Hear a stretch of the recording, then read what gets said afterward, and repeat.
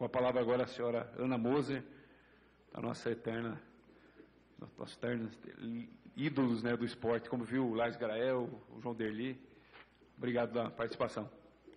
Bom, é, fazendo até uma, uma brincadeira aqui, um contraponto com a, com a Paula, que fala da, da, da participação, da importância da participação das, das federações esportivas em toda essa, né, essa, essa corrida e essa estruturação de um esporte para todos.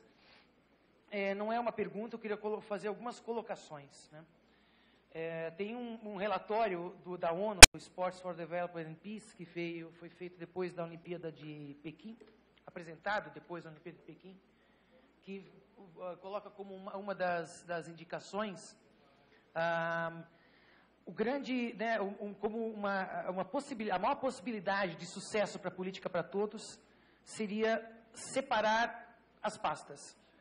Uma pasta para cuidar do esporte espetáculo, uma pasta para cuidar do esporte para todos. Né? De tamanha a, a influência e a força política e econômica que o esporte espetáculo tem e sobrepondo aí, e, e, deixando sempre para um segundo momento, para um, um, né, uma posição acessória, o esporte para todos. É, isso está nesse, nesse, nesse relatório é, e, de uma certa maneira, é o que a gente está vivendo no país. A gente vive hoje um momento que o Ministério dos Esportes não tem mais a Copa do Mundo, não tem mais a Olimpíada, porque já está tudo encaminhado, pronto, fazendo. Né? É, tem, enfim, tudo que já se tem a fazer em termos de preparação das equipes olímpicas já está sendo executado, né? Que já foi contratado lá atrás.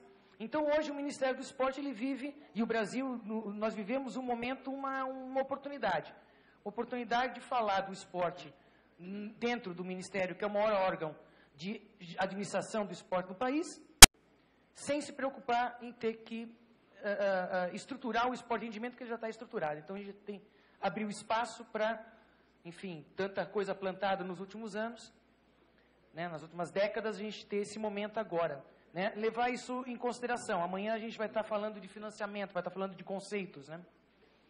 É, porque realmente isso aí também é, é, reflete no financiamento público para o esporte. Né? O que, que é a, a, a função do Estado, da federação, né, da União? Né, em termos de financiamento do esporte. A gente vai ter que se debater com essas, com essas questões. Né? Vamos ter que colocar uma posição sobre essas questões. É justo o Ministério do Esporte dedicar todo o seu orçamento praticamente para financiar o esporte em rendimento? Né?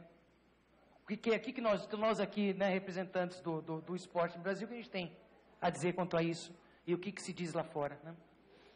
É, e aí, só mais uma, mais uma, uma questão a respeito da, da pirâmide, né? E, e da desconexão, suposta desconexão entre, os, entre as dimensões. É, aí eu queria, eu queria trazer uma, uma palavra do, do filósofo é, Manuel Sérgio, né? E falar de valores, né? E que a, a, o valor do esporte, espetáculo versus esporte, participação, esporte para todos, é que o esporte espetáculo ele deve ser a expressão máxima de qualidade, de potencial humano daquele contexto de esporte, seja da dimensão esportiva, seja da, do país, da região, seja da escola. Quando a gente fala escola, o esporte escolar é a dimensão máxima do esporte praticado naquele, naquele ambiente. E o nosso esporte rendimento deve, deve ser a expressão máxima de algo, algo que seja real, praticado na base, né? Eu acho que isso é uma inspiração aí para as discussões que vêm. Obrigado, senhora Ana Moser. Com a palavra